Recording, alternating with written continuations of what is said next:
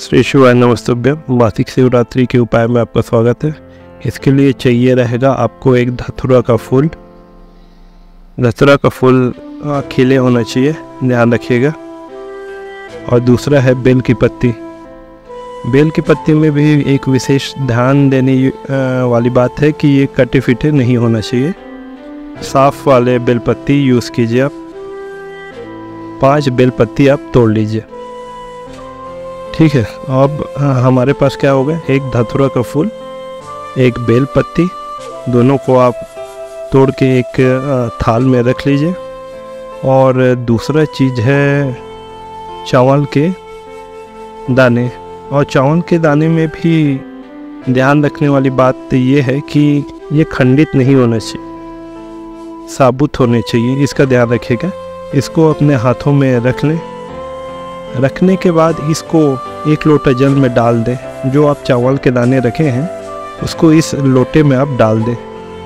उसके बाद भगवान को इत्र और जो भी फूल आप तोड़े हैं, जो भी आपको उपलब्ध हो, वो फूल भगवान चंद्रमौली, शंकर भगवान का एक नाम होता है, रूप है चंद्रमौली, इसका ध्यान करेंगे।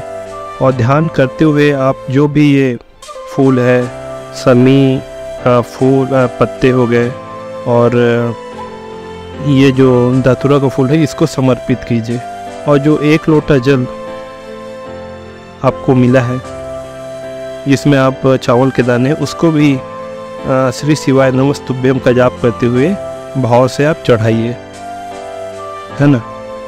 तो ये हो गया मासिक शिवरात्रि का उपाय। इससे आपके घर में जो भी विघ्न आ रहे हैं या जो काम आपका नहीं हो रहा है, सर्व मनोकामना हेतु इसको किया जाता है। विशेष रूप से लक्ष्मी प्राप्ति या धन प्राप्ति के लिए इसका उपयोग किया जाता है। तो ध्यान रखिए, आज मासिक शिवरात्रि है तो ये उपाय आप ज़रूर कीजिए और मन में भाव रखिए कि जो मैं भी, जो भी मैं कर रहा हूँ या कर रही हूँ, वो बहुत अच्छे से कर